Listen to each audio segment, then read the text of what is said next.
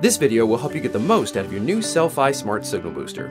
Increase your wireless coverage throughout your home or office, limit dropped calls, and improve your wireless data performance.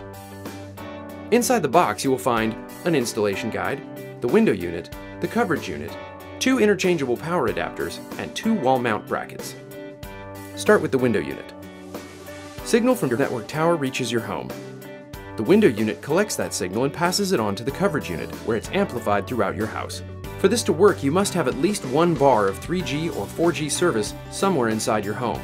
But more bars is always better. Use your mobile phone to find the place with the highest bars in your home. This will typically be by a window, upstairs if possible. Make sure you see the 3G or 4G icon on the handset. If you don't see the icon, you may not live in a 3G or 4G coverage area, or your phone might not be a 3G or 4G handset that would benefit from the signal booster. Place the window unit in the area where you found the most 3G or 4G bars available. Plug either one of the power adapters into the window unit and into a convenient power outlet. Make sure the window unit is upright and the display is facing towards the inside of the room. It will take the window unit a few minutes to complete the wake-up sequence. Now let's set up the coverage unit. The farther apart you put the two units, the better the system will work. It may seem strange, but as you move the window unit and coverage unit apart, the area of improved coverage becomes increasingly large. The larger the home, the farther apart the two units should be. Of course, it is possible to put the two units too far apart. The coverage unit can't communicate with the window unit if this happens. You'll need to try several locations to find the best one. Place the coverage unit in the area of your home where you need coverage and plug it in.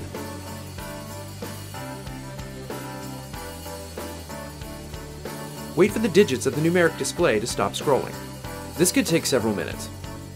Once the coverage unit has established communication with the window unit, you should see a green icon like the one shown here. If a zero appears on the numeric display as shown here, the units are too close together. You need to move the coverage unit farther away from the window unit. If you see a red icon like this one, instead of the green one, the units are too far away from each other. You need to move the coverage unit closer to the window unit. The number on the coverage unit indicates the size of the coverage area. You should try to get an 8 or 9 on the display. If the number is smaller than an 8 or 9, try moving the coverage unit to another location to get a higher number. In smaller buildings, this may not be possible. You should now have much better 3G or 4G service on your mobile phone. Try walking around your home and make sure you have better coverage everywhere.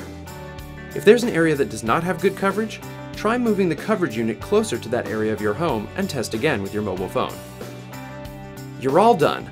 We hope you enjoy the improved coverage and data performance as a result of your new Cel-Fi Smart Signal Booster.